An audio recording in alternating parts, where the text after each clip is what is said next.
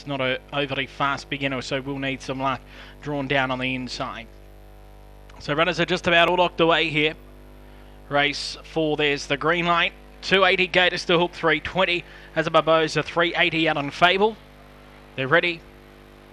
And they're racing now, jumping well from a middle box here. Go Vicky, and it'll lead from Destiny Wahoo.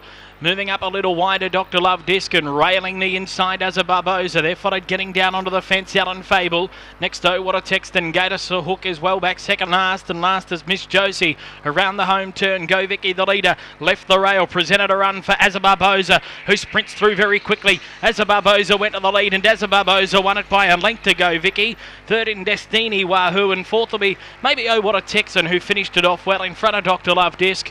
Then came Gators to hook well back in the field out on Fable and Miss Josie at the end, 26 17 the time.